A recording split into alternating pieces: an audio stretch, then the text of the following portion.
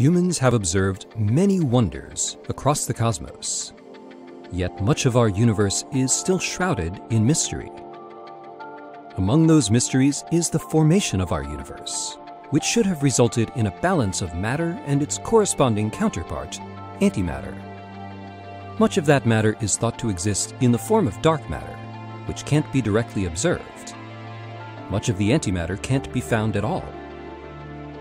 Studying fundamental particles originating from sources up to billions of light years away may hold the key to understanding both the composition and history of our universe.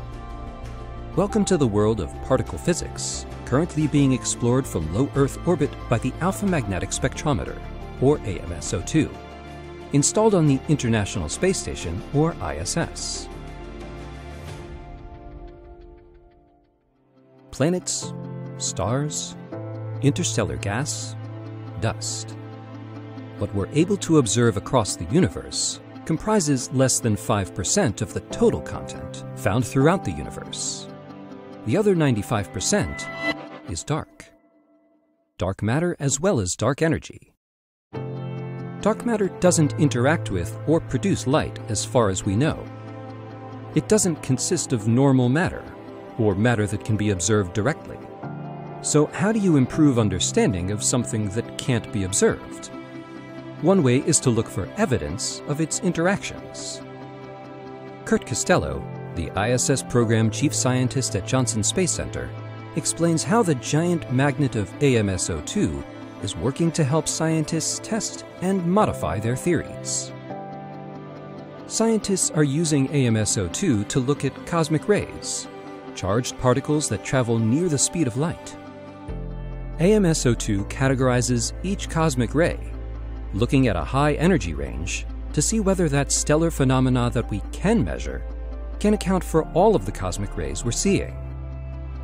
But if you see something in the spectra that doesn't fit, then this could be evidence of dark matter interactions.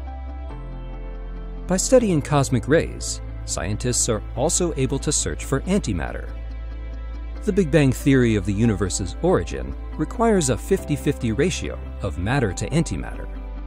But to date, the amount of antimatter found doesn't come close to matching the amount of matter known to exist. Costello says one of the goals of the mission is to detect antimatter and see if there are any large collections of it out there somewhere. When particles pass through the strong magnetic field produced by AMS-02, their paths bend Antimatter particles stand out because their paths bend in the opposite direction compared to matter particles. The instrument searches for antimatter with a sensitivity three orders of magnitude greater than the original AMS, which flew in space in June of 1998 aboard the Space Shuttle Discovery. This could support the discovery of antimatter pools that were previously undetectable. A key factor in our ability to get the most out of AMS-02 is time. Originally expected to have a lifespan of three years, the instrument has continued to perform into its eighth year of operation aboard the orbiting laboratory. In late 2019 and early 2020, astronauts conducted a series of spacewalks to replace AMS-02's cooling pumps, which were failing. Extending the life of the instrument will provide scientists more time in their quest to unveil some of the universe's greatest mysteries. For more on scientific studies being done on and from the space station, go to www.nasa.gov/iss-science. For more information about the origins of the universe, visit science.nasa.gov.